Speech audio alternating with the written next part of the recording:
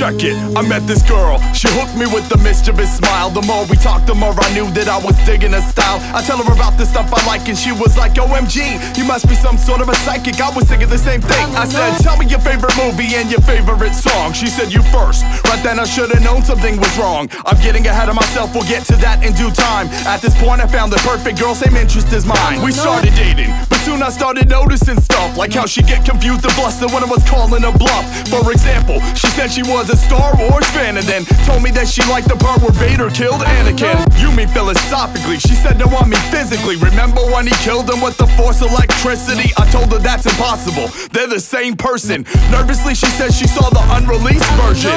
Well, it was all downhill from there. She didn't like the stuff I like, she was just real prepared. She studied me before she buddied me on MySpace. She wanted to see the stuff I like so she could copy my taste.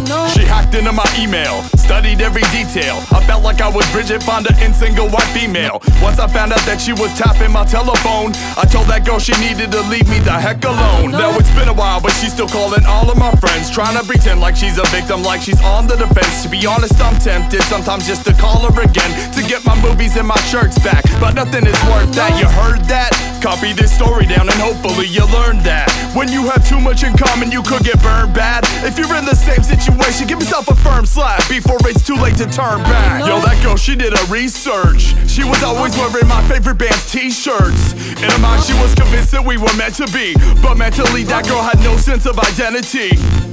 She was a shapeshifter, a shape, a shapeshifter, a shapeshifter. I really don't believe this, a shapeshifter, a shape, a shapeshifter. She was like the symbiote. In Spider-Man 3, she conformed to what I was and brought the worst out of me. She was an alien creature. I was like Sigourney Weaver in a fight with a parasite trying to burst out of me. Now I must admit I brought this on myself. I'm known for picking girls with questionable mental health. She was crazy and it kills me inside to admit it. But I chose her, it was the thrill of the ride that did it. And like most rides, it was so fun at the beginning. There came the looping and spinning, the puking and spitting. How long is this ride? You've gotta be kidding, that's a metaphor. For the type of pain and anguish that you could be headed for. If you try to take a bull by the horns, better be a matador. Or else you would better start running because the shapeshifter stamina is simply stunning. Since my running with that one, I have become overly cautious. Even not my polar opposite, I instantly get nauseous. I ended up in a relationship that's shakier than Parkinson's. The way she burned me, you would think she was an arsonist. I guess the moral of the story is things don't end up so glorious when you try to date yourself, you stupid narcissist. Hey yo, that girl, she did her homework. Went as far as dressing in black and going covert. In her mind, she was convinced that we were meant to be. But mentally, that girl had no sense of identity.